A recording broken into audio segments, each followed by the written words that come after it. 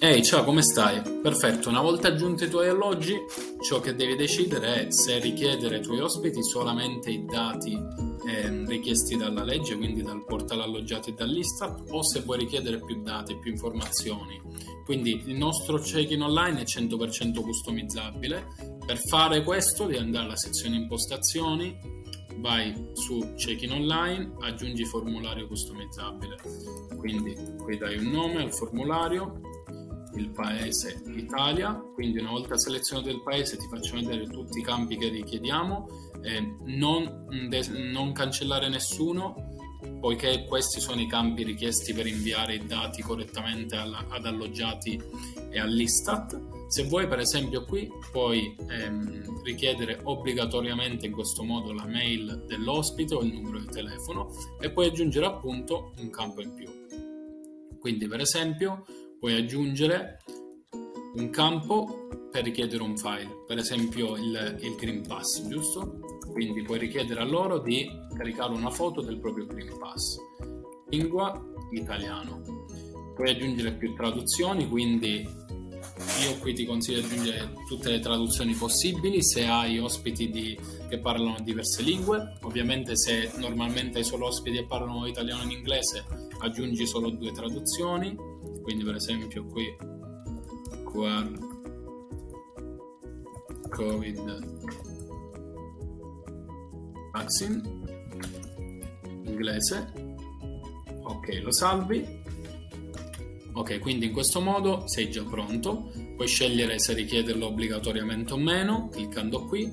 Devi selezionare l'alloggio in cui vuoi applicare questi cambi al formulario e clicchi su salva formulario perfetto è pronto Dopodiché devi decidere adesso se vuoi appunto registrare gli ospiti tramite il check-in online, se farlo inviando loro il nostro template di email per il check-in online che è abbastanza semplice e si vede in questo modo, o creare una propria mail, quindi 100% personalizzata a tuo piacimento.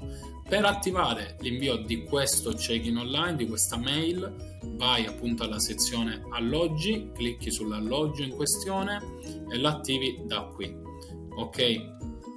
Quindi io ti consiglio di scegliere sempre tutte le opzioni tranne quando viene creata la prenotazione eh, perché? Perché se la prenotazione la crei per esempio tre mesi prima è inutile, credo, contattare con l'ospite tre mesi prima perché in tre mesi può succedere tutto. Se scegli tutte queste opzioni, che è il consiglio che ti do, non ti preoccupare, non mandiamo eh, infinite mail all'ospite e di fatti nel momento in cui tutti gli ospiti siano registrati smettiamo di mandare remind, di inviare reminder. Per esempio se due ospiti si sono registrati già una settimana prima del check-in non inviamo la mail qui, qui e qui.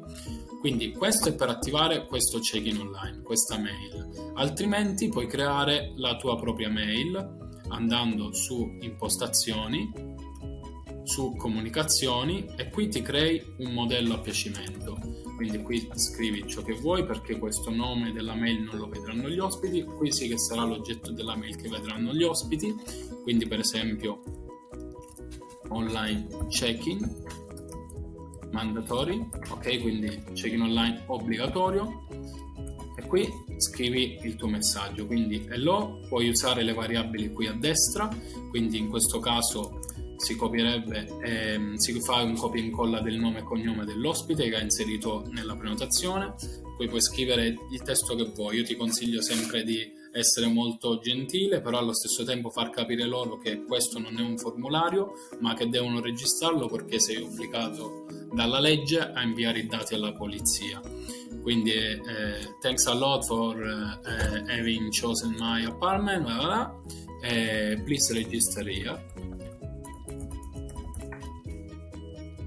Non dimenticare di inserire la variabile del check-in online. Se vuoi puoi anche creare questo in formato HTML, quindi per dargli un livello in più di personalizzazione, aggiungendo colori, immagini a tuo piacimento. Il momento sempre ti consiglio di scegliere queste opzioni insieme. Le lingue, quindi qui per esempio puoi creare una sola mail e aggiungere più traduzioni qui o creare una per ogni eh, lingua appunto. Quindi per esempio questo si invierà solo agli ospiti che parlano inglese e per ultimo scegli l'alloggio a cui applicare questi cambi. Ci vediamo nei prossimi video